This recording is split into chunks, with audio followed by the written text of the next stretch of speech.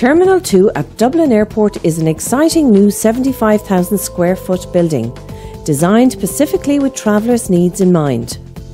Making use of natural light, it creates a bright, airy space for passengers that is calm and relaxing. T2 provides an elegant and contemporary gateway for 21st century Ireland. Hello, my name is Jack Priestley. I am a Regional Director of Mercury Engineering Ireland.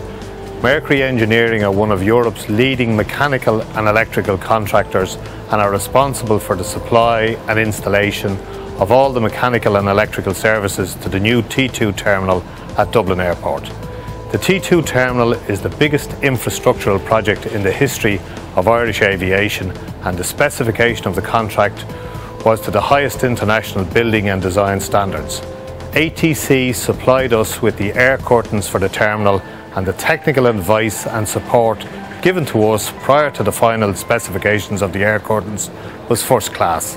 There are different models for the various locations in the terminal.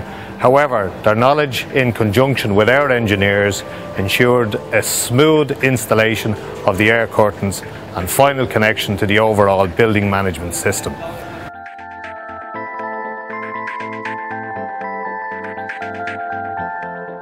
We have found ATC to be totally reliable and professional at all stages of the selection, supply and after sales services to Mercury Engineering for this project.